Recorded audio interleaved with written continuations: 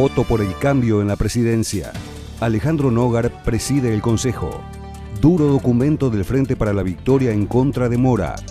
La concejal dijo, no me siento fuera del Frente para la Victoria. La verdad que hasta el momento en el que estamos hoy, ya más de 40 días de haber asumido, todavía estamos, eh, nos encontramos en un estancamiento administrativo eh, debido a falta de decisión del presidente de realizar trámites administrativos que eran inherentes solamente a él. Así que la decisión fue del cuerpo en sí, en total, incluso de los, de los concejales que no están. Y bueno, tratamos eh, de poder hacer las cosas de, de forma totalmente mm, ilegal porque el cuerpo es soberano y está autorizado a poder hacer este cambio de autoridad que se hizo en este momento.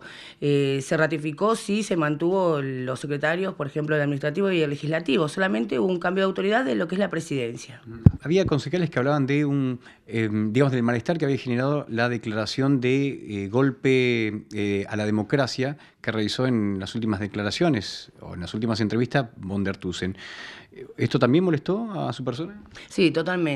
Aparte, justamente porque soy peronista, ¿no es cierto? Eh, me molestó demasiado. Eh, yo creo que fueron declaraciones eh, desafortunadas por parte de él, que bueno, que fue una sumatoria, o sea, de, falta de gestión y de compromiso y de cumplir con, con, su trabajo como presidente del Consejo, declarar que nosotros éramos golpistas, tratarnos casi como delincuentes. la verdad que no le sumó y nosotros necesitamos más que nada trabajar trabajar, en el consejo y hacer lo que nos, para lo que nos puso la gente acá. Y realmente estábamos muy trabados y no podíamos realizar absolutamente nada.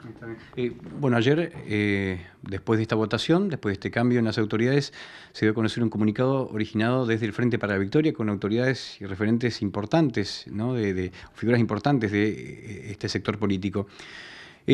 bueno, en contra de su figura, en contra por lo menos de esta votación. ¿Usted qué piensa? ¿Está fuera del Frente para la Victoria?